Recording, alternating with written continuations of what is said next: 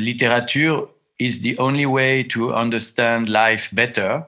If you want to become immortal, you will have to stop being human. You can hear the dead people. Hi, I'm Greg Mustreader, and this is a YouTube show on literature, culture, and favorite books of famous people, book first. Today, here with me is Frederic Beigbeder, a famous French writer, publicist, and TV star. Hi, Fred. Hello, how are you?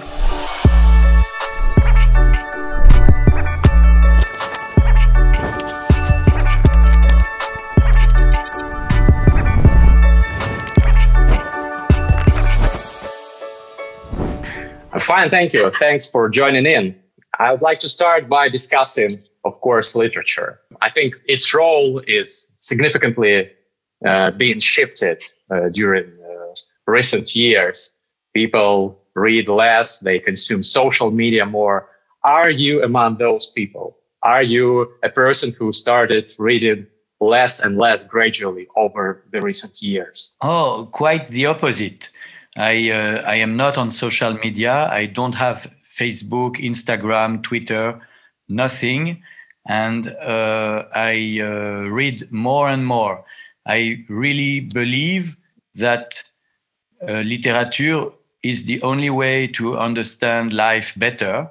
And we, especially in periods that are crazy like now, we really need yeah. the help of intelligent writers and the history of, of literature is the only solution to save us in this nightmare. So, uh, what kind of books would you recommend to cope with uh, such nightmare? What What do you read to cope with it? I think the the situation in Russia is quite the same as in France. We are in a, in our apartments. We are like in a prison. Uh, yeah. not authorized to leave, right? So we should read, uh, for example, Les Carnets du sous-sol, the uh, diary in the basement by Dostoevsky. Mm-hmm. You know, he, he wrote this, the story yeah. of this man that is trapped inside a basement. And it describes, uh, it's a very interesting way to make a positive thing of this reclusion also, you have the same in France, Voyage autour de ma chambre by Xavier de Maistre. It's in English, you could translate uh, traveling around my room.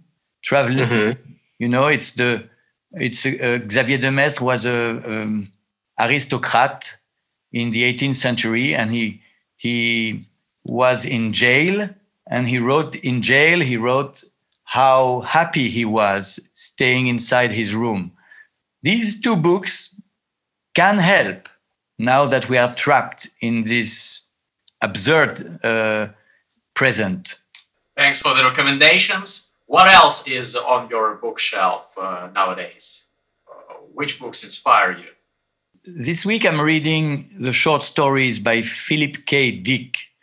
Uh, Philip mm. K. Dick was a, a, uh, very important science fiction writer uh, from California many of his short stories became movies.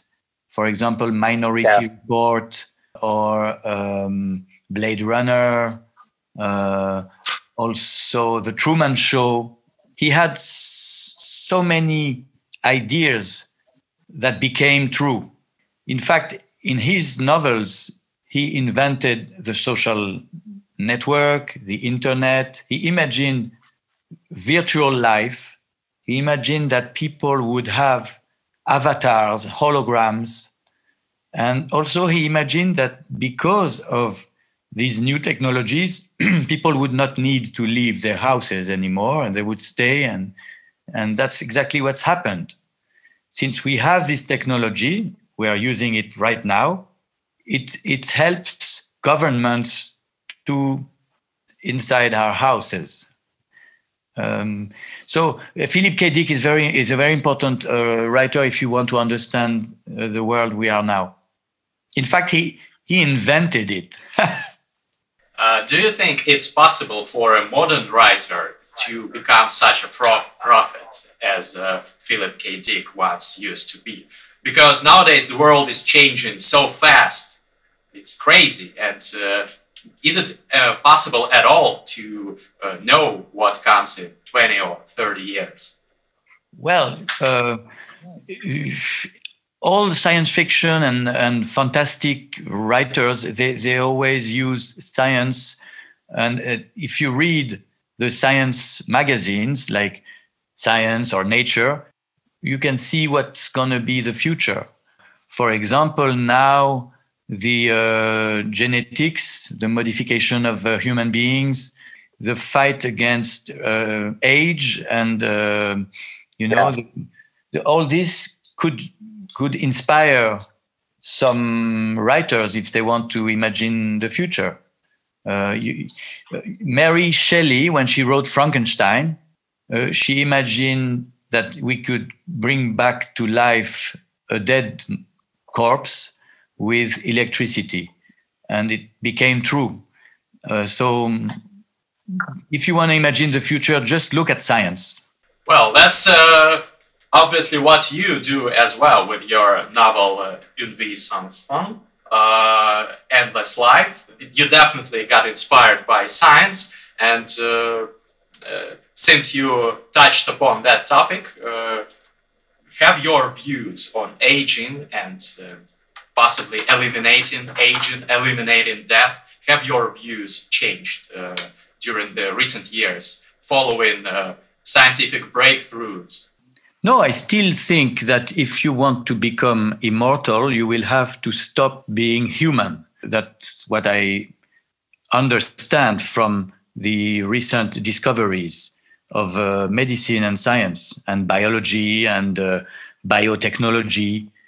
Uh, so the choice is a short human life or a long post-human uh, life. Mm-hmm. Uh, and when you when you think about it, uh, the vaccine, the Russian, American, and maybe the European vaccine against COVID 19 will make us post human because it works with genetics.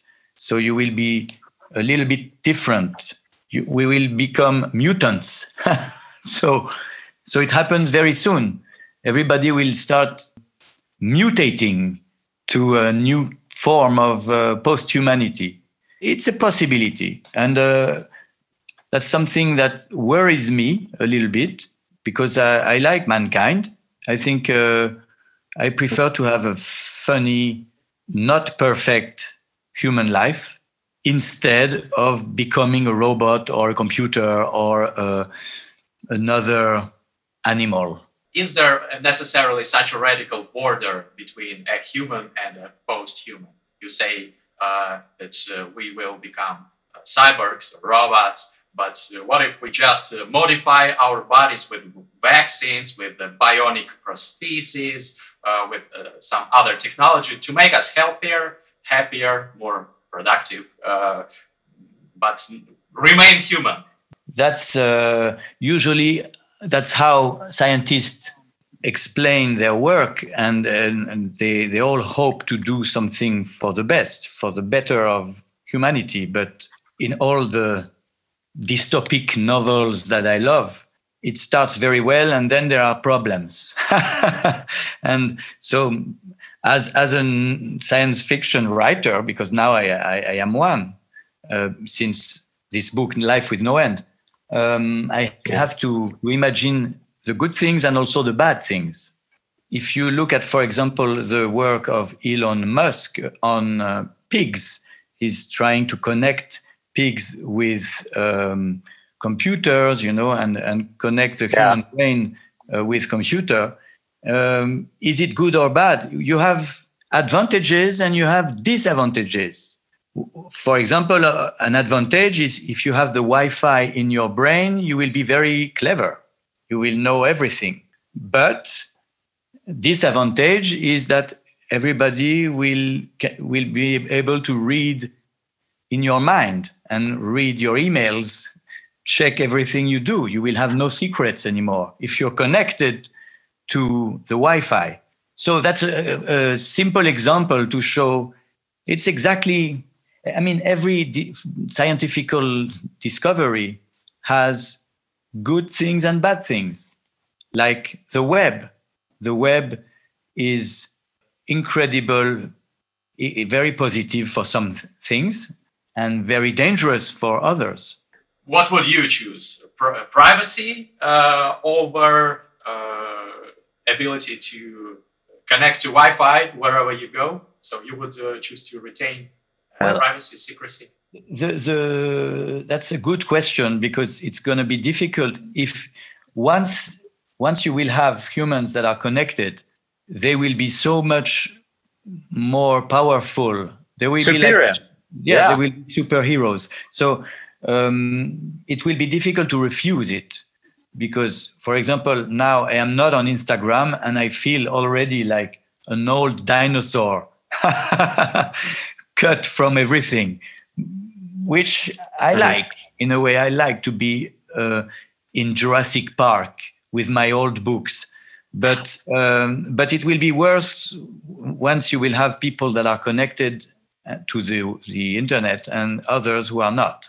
So I will feel maybe like an old uh, dinosaur or a, a monkey, but a happy monkey because I will have my secrets.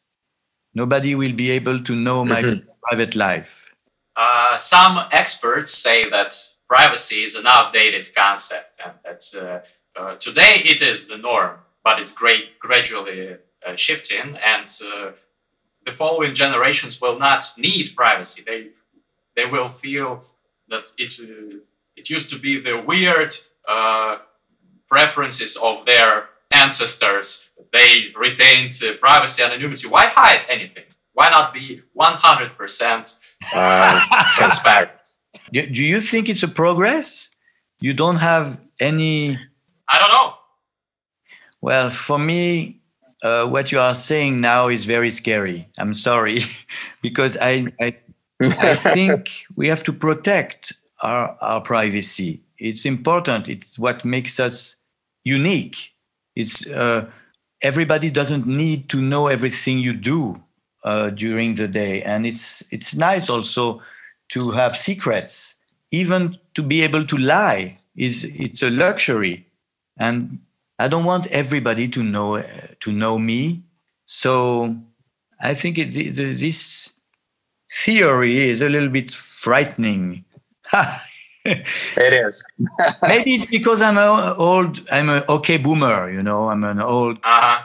but I have children and I, I see that, for example, my daughter, my elderly daughter, she's 21 and she, she's, uh, she's on social media, but she doesn't spend all her day exhibiting her life. She wants to protect herself. And I think now and the few years we are living now, it's the time to resist.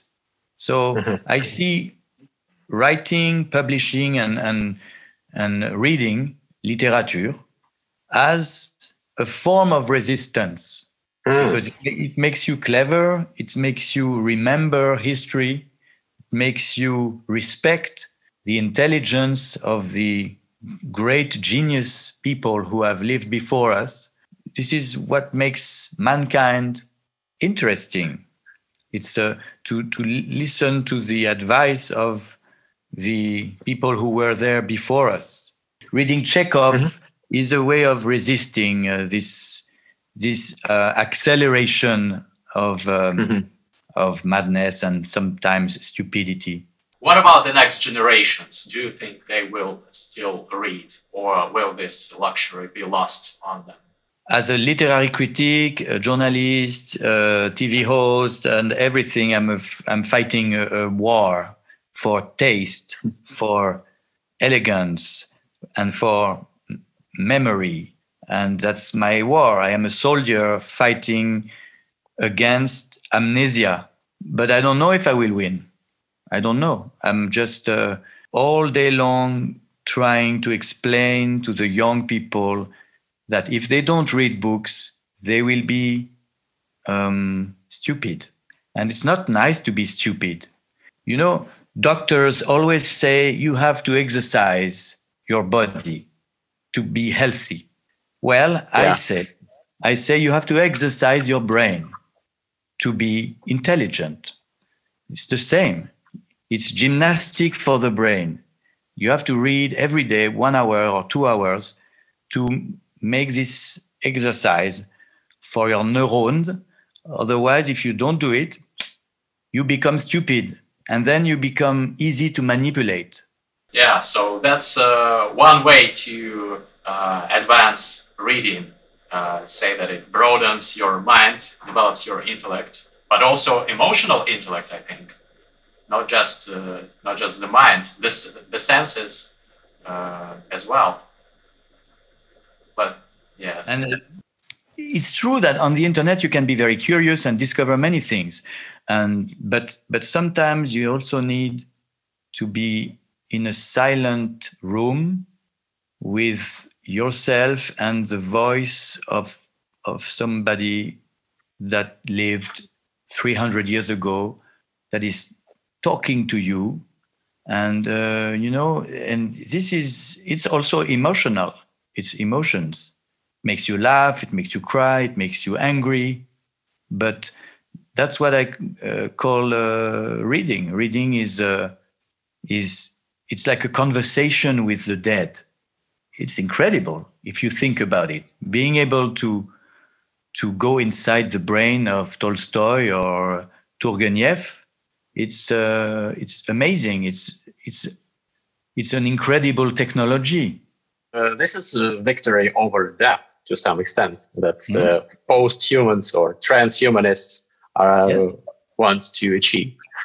Exactly. Uh, by the way, uh, who, whom uh, out of uh, all dead people would you feel more pleased and thrilled to talk to, at least in the book form? who oh. is your oh. favorite dead person? There's so many, but yeah, well, Charles Baudelaire, uh, Scott Fitzgerald, um, uh, of course, Anton Chekhov.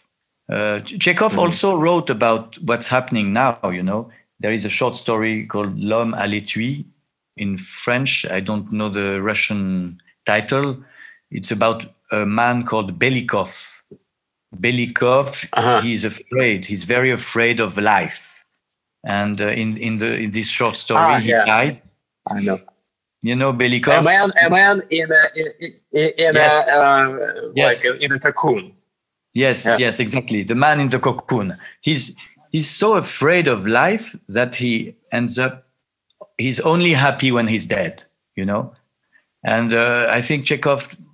He he was of course um, doctor, so he wanted he wanted to tell us something he, he, was curing people, but also he wanted us to tell us stop being afraid of dying because if you're afraid of dying, you're afraid of living. Life is always dangerous. You have accidents, you have virus, you have terrorist attacks. And every day, if you go out of your house, you risk something. But you have to take the risk. Otherwise, you are living a non life. That's the message yeah. of Chekhov.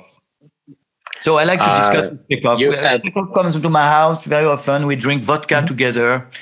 Uh, with I drink I drink mm-hmm. vodka with uh, also Venedikt Erofeyev. Uh, mm. I drink vodka with uh, Dostoevsky, of course, and we talk about prostitutes in St. Petersburg. It's beautiful. it's beautiful to be able to dialogue with all those masters. That's what I that's what I'm trying to explain. If you look at a library, it's not pieces of paper, it's people, dead people talking to you. Yes, it's a little bit scary. And I'm going to look like this now. Dead, dead people. They are talking to you right now in every bookstore, every library in the world. You can hear the dead people.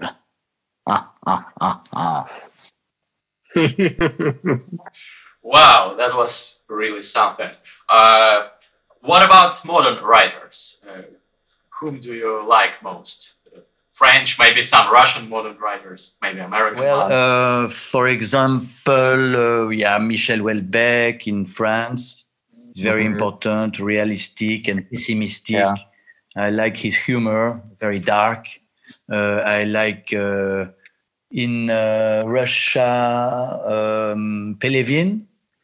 Uh, Mhm.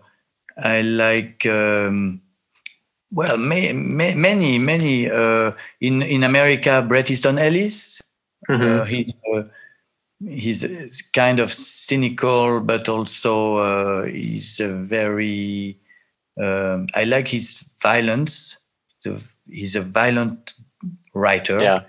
Makes you react, and I like that. Yeah, um, it's important to read not only the dead. You're right. to encourage the, the living also. About modern Russian writers, uh, do you know of, uh, for example, uh, Sergei Minayev, who has been uh, influenced by you, obviously, a lot? Yeah, he's a friend.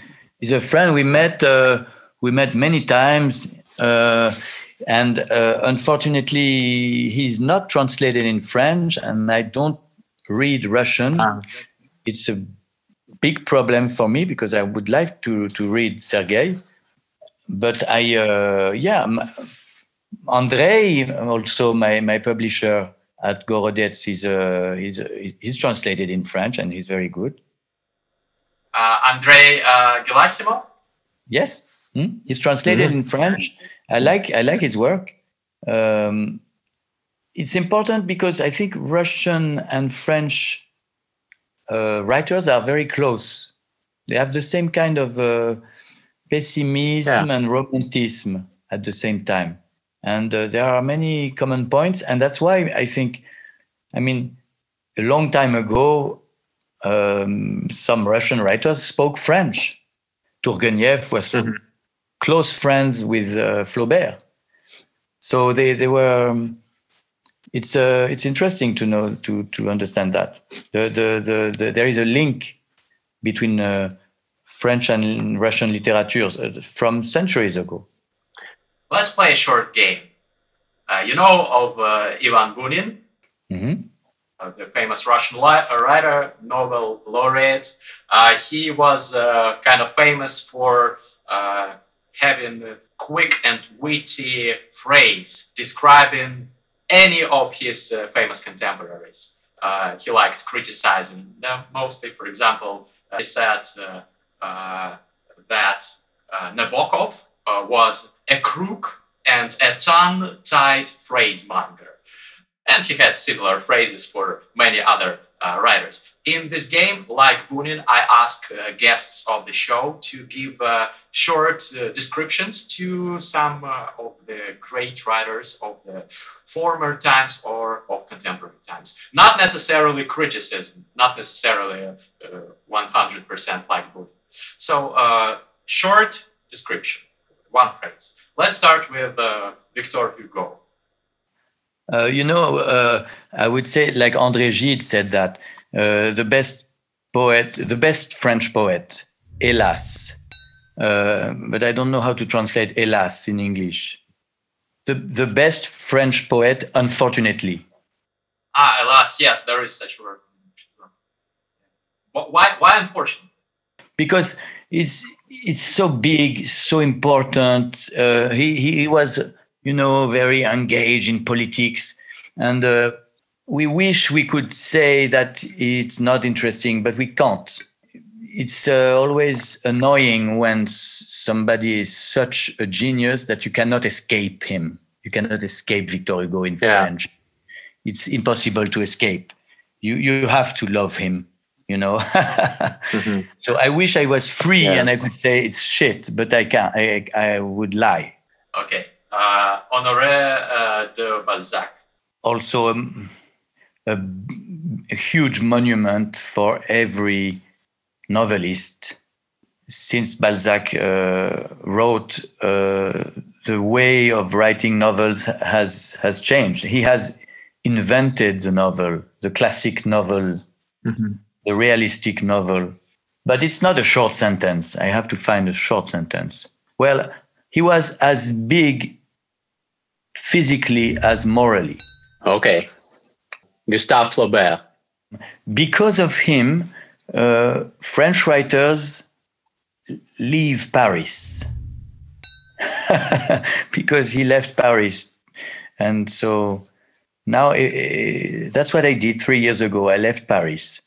It's, the, mm-hmm. it's Gustave's fault. so he's a trendsetter uh, in exactly. that regard. Yes. Okay. Marcel Proust. Marcel Proust. Uh, well, um, it's difficult to criticize all those masters. It's the proof that you can be a superficial person for the first half of your life, a snobbish mm-hmm. nightclubber, and then in the second part of your life, use that material to become the greatest writer of the 20th century. For people like me who like to go out, Proust is an excuse to get drunk and imagine someday you will use it and make something great out of all those parties.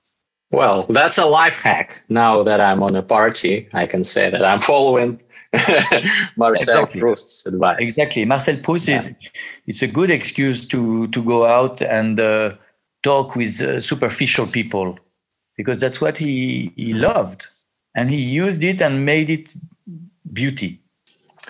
Louis Ferdinand Céline. He's, Bunin said uh, crook, but Céline is not a crook. Céline is a, is both a monster and a genius. It's you can be both, and very often, uh, good writers are bad people. That's a very that's very important uh, to say. I mean, good writers don't have to be good people, saints or heroes. They they don't. They they just have to be good when they write. That's that's all we ask to them. Michel Houellebecq. Uh, Michel Houellebecq is the is the Céline of the 21st century. But he's a better man than Céline, I think. He's a humanist. He's kind and gentle and, and soft. He's not a violent person he's not dangerous person, Michel. But uh, yeah, he. What I love about Michel is he he has talent to make to say cruel things in a short and funny way that makes them acceptable. One last name, Frédéric uh, Beigbeder.